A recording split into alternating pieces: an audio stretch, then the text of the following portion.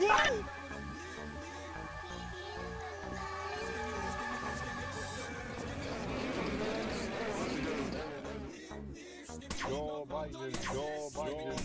What?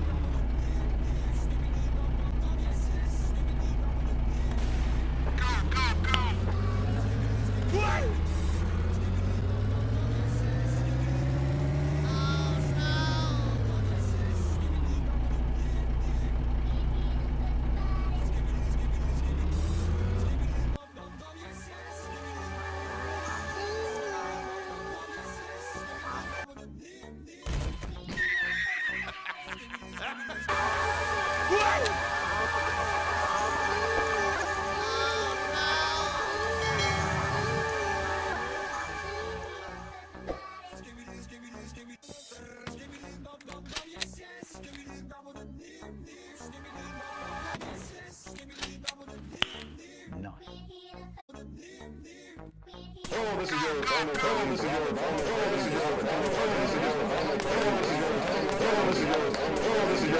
President Barack Obama, and I just want to tell you,